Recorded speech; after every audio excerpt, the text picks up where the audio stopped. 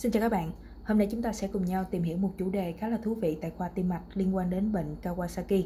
Đầu tiên nói về tổng quan, Kawasaki là bệnh lý viêm hệ thống cấp tính tác động lên trẻ em, đặc trưng với tình trạng sốt cao, thay đổi niêm mạc và những cái chỉ số xét nghiệm. À, Kawasaki nó sẽ gây viêm những cái động mạch có kích thước trung bình, chủ yếu là tác động lên mạch vành, đây là phần mạch máu đi nuôi tế bào cơ tim. Nhưng ngoài ra thì nó cũng tác động lên những cái động mạch có kích thước trung bình khác à, và bởi vì cái nguy cơ phá hủy mạch vành có thể gây giãn mạch vành hoặc là gây phình mạch vành nên Kawasaki là một trong những nguyên nhân gây bệnh tim mắc phải ở trẻ em đặc biệt là nếu như không được điều trị. À, phần thứ hai nói về dịch tễ của Kawasaki. Kawasaki thường gặp ở những bé trai nhiều hơn là bé gái. À, ở Mỹ tỷ lệ nam chia nữ là 1,5 chia 1 còn ở Nhật tỷ lệ nam chia nữ nó hơi thấp hơn một chút đó là 1,3 chia 1 Kawasaki thường tác động lên những trẻ dưới 5 tuổi và những cái bất thường mạch vành thì thường gặp hơn ở những cái trẻ dưới 1 tuổi, trên 5 tuổi hoặc là ở những cái bé trai. À, đây được coi là những cái yếu tố nguy cơ. Nguyên nhân nguyên nhân gây bệnh Kawasaki thì cho đến thời điểm hiện tại vẫn chưa được hiểu rõ. À, phần thứ ba thì mình sẽ cùng nhau tìm hiểu sơ lược về cơ chế sinh lý bệnh của bệnh Kawasaki. À, cái giả thiết hiện tại thì không có rõ cái kháng nguyên nào gây hoạt hóa hệ thống miễn dịch dẫn đến những thay đổi trên lâm sàng cũng như là à, các cái thay đổi trong chỉ số xét nghiệm của Kawasaki.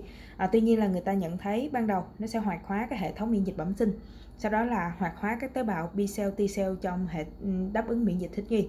Ở đây mình quan sát cái hình mô phỏng về cái cấu trúc thành mạch và cơ chế tác động trong bệnh Kawasaki. À, thành mạch máu thì mình có thể chia thành ba lớp là áo ngoài, áo giữa và áo trong. Bên trong cùng này chính là lớp tế bào nội mô. À, đây là phần áo giữa.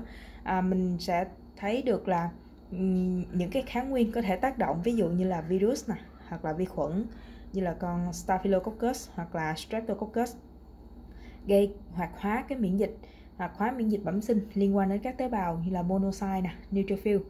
À, sau đó là những cái tế bào này sẽ hoạt hóa cái đáp ứng miễn dịch thích nghi hay là B cell, T cell bên trong cơ thể mình dẫn đến tác động là phá hủy thành mạch máu làm cho các lớp mạch máu trở nên lỏng lẻo gây uh, giãn giãn cái phần mạch ra hoặc là hình thành nên những cái túi phình.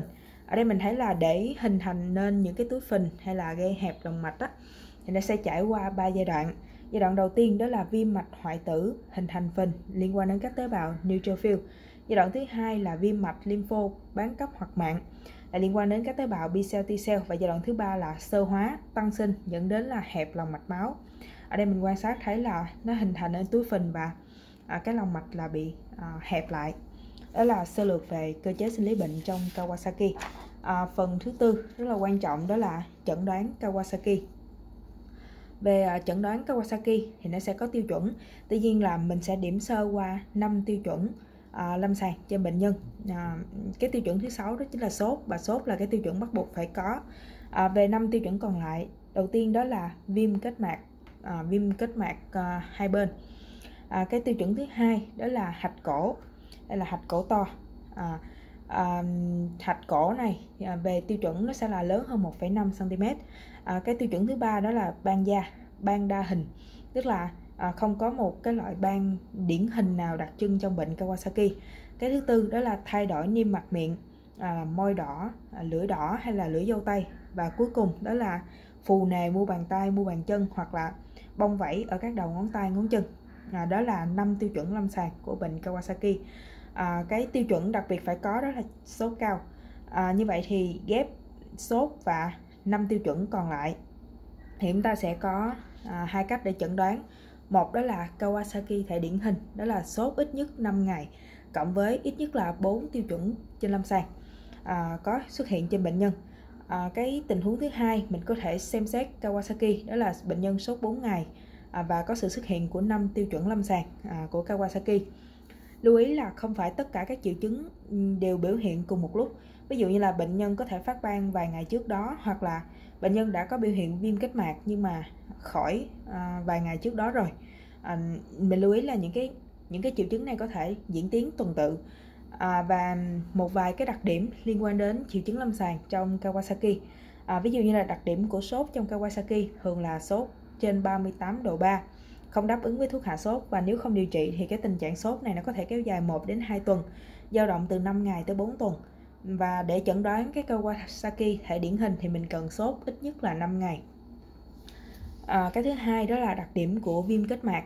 À, viêm kết mạc ở đây mình lưu ý có hai đặc điểm. Một đó là viêm kết mạc không xuất tiết và cái thứ hai là cái phần rìa phần rìa mắt là phần tiếp nối giáp ranh với phần giác mạc á à, nó vẫn trắng chứ nó không bị đỏ không bị sung huyết cái phần này. Cái thứ ba đó là hạch cổ.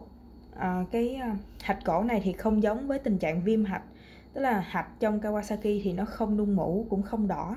Kích thước của hạch yêu cầu đó là trên 1,5 cm thường là hạch ở một bên và đây là vùng hạch cổ trước. Xuất hiện ở chỉ khoảng 25 đến 50 phần trăm bệnh nhân. Là bệnh nhân không có hạch thì mình cũng chưa chắc đã loại trừ được Kawasaki. Ờ, đó là điểm sơ lược về cái tiêu chuẩn chẩn đoán của Kawasaki. À, tuy nhiên trên lâm sàng ta có thể gặp bắt gặp những trường hợp là Kawasaki thể không điển hình. Vậy thì thể không điển hình nó khác gì so với thể điển hình và bằng cách nào để chúng ta có thể chẩn đoán được ừ, cái Kawasaki thể không điển hình? Thể không điển hình đặc trưng với tình trạng sốt trên 5 ngày hoặc là sốt dưới 4 ngày à, sốt bé hơn 4 ngày. Nhưng mà bệnh nhân có biểu hiện lâm sàng của Kawasaki. Thì lúc này chúng ta sẽ cần thêm những cái xét nghiệm cũng như là siêu âm tim để hỗ trợ chẩn đoán. Vậy thì khi nào mình nghĩ đến Kawasaki để mình làm thêm xét nghiệm để mình uh, chỉ định cái siêu âm tim uh, chẩn đoán cho bệnh nhân? Uh, mình sẽ chia theo hai nhóm đối tượng. Một đó là trẻ dưới 6 tháng tuổi thứ hai đó là trẻ em. À, trẻ dưới 6 tháng tuổi thì chỉ cần sốt trên 7 ngày không rõ nguyên nhân dù có biểu hiện hay không có biểu hiện triệu chứng lâm sàng gợi ý Kawasaki thì chúng ta cũng sẽ à, chỉ định xét nghiệm siêu âm tim để hỗ trợ um, chẩn đoán hoặc là loại trừ cái bệnh Kawasaki này. À, đối tượng nhóm thứ hai đó là trẻ em thì sốt lớn hơn bằng 5 ngày à, và có biểu hiện hai trong 2 đến 3 tiêu chuẩn thỏa mãn cái à, Kawasaki. Thì chúng ta có thể à, làm thêm xét nghiệm để hỗ trợ chẩn đoán vậy thì à, cái sơ đồ tiếp cận để đánh giá cái Kawasaki thể không điển hình.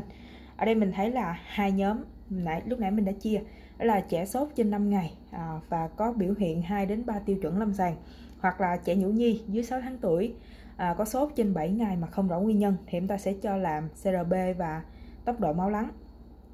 Nếu mà CRB dưới 3 và à, tốc độ máu lắng dưới 40 thì lúc này chúng ta sẽ theo dõi bệnh nhân cho đến khi bệnh nhân hết sốt và có thể xem xét làm lại xét nghiệm CRP và tốc độ máu lắng.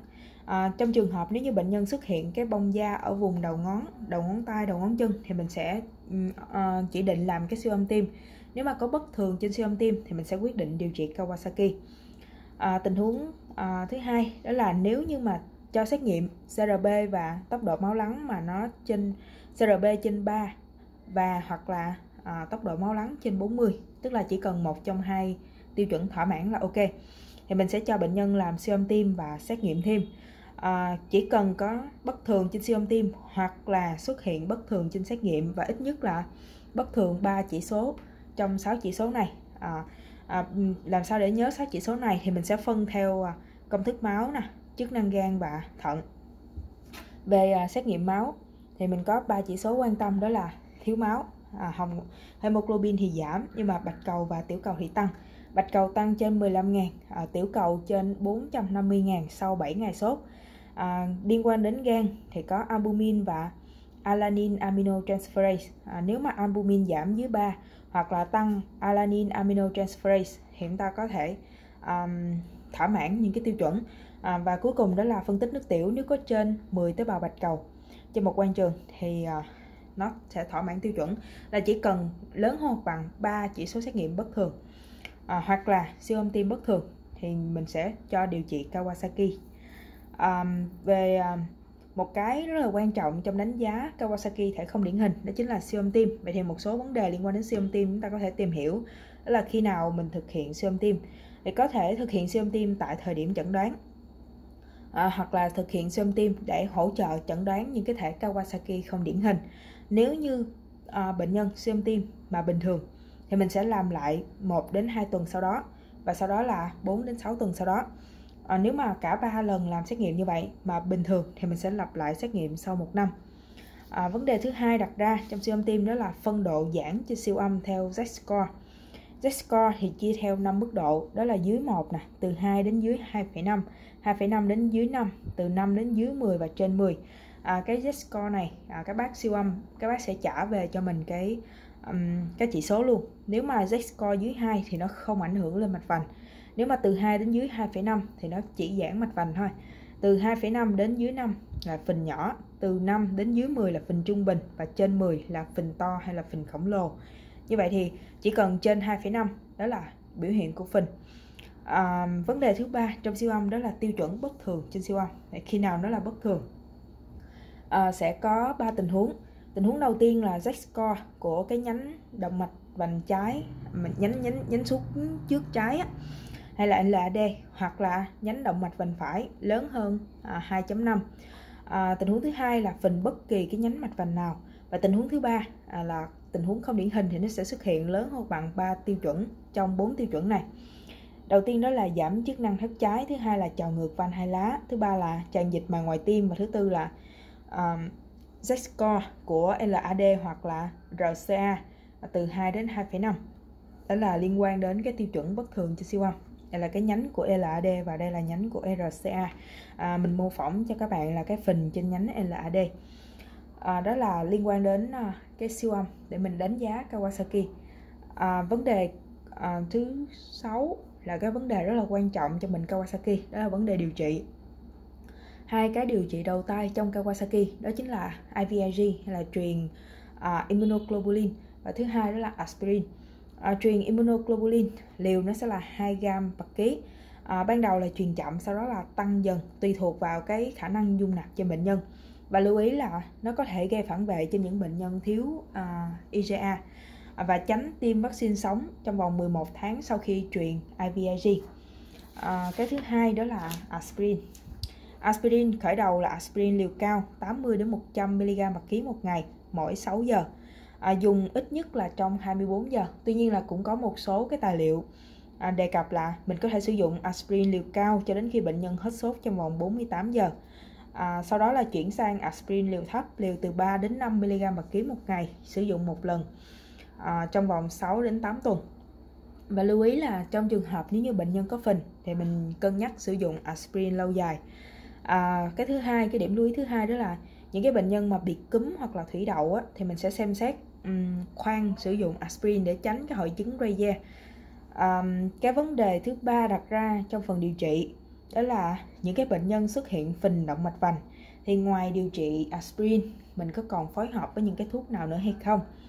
À, phình càng lớn thì nguy cơ là máu nó sẽ ứ lại và hình thành nên huyết khối. Cho nên tùy thuộc vào cái kích thước phình mà chúng ta sẽ cân nhắc phối hợp với thuốc kháng tiểu cầu hoặc là à, thuốc kháng đông. Đối với phình trung bình thì mình sẽ xem xét kết hợp với thuốc kháng tiểu cầu clopidogrel.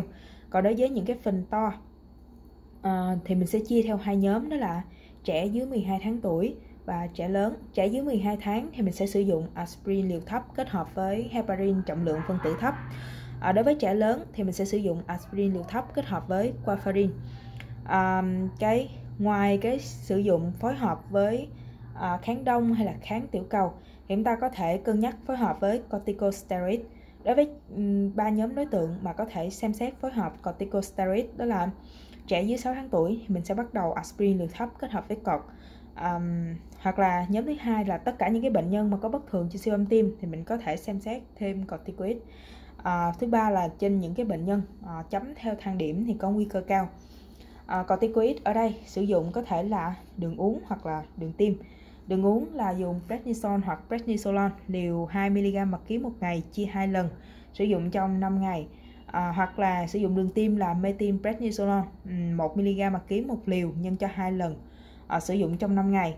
Và sau 5 ngày thì mình sẽ cân nhắc giảm liều và sau đó duy trì 2 đến 3 tuần à, phần cuối cùng đó là trong trường hợp mà bệnh nhân bị Kawasaki nhưng không đáp ứng với điều trị tức là Kawasaki kháng trị. Kawasaki kháng trị được hiểu là bệnh nhân vẫn còn sốt dai dẳng trên 38 độ C hoặc là biểu hiện triệu chứng lâm sàng còn trong vòng 36 giờ sau khi đã truyền IVIG à, ờ, những cái trường hợp này chúng ta sẽ cân nhắc điều trị như thế nào? Thì mình sẽ xem xét truyền IVIG liều thứ hai. À, liều thứ hai vẫn là 2 gam bạc ký và nếu như sau liều thứ hai mà bệnh nhân vẫn không cải thiện thì lúc này chúng ta sẽ xem xét à, truyền cái kháng thể đơn dòng TNF à, kháng TNF alpha ví dụ như là infliximab hoặc là và kết hợp với cái methylprednisolone liều cao là 30 mg bạc ký sử dụng trong 3 ngày. À, đó là điểm qua sơ lược về bệnh Kawasaki. Cảm ơn mọi người đã theo dõi video clip này. Hẹn gặp lại các bạn trong các video clip sau.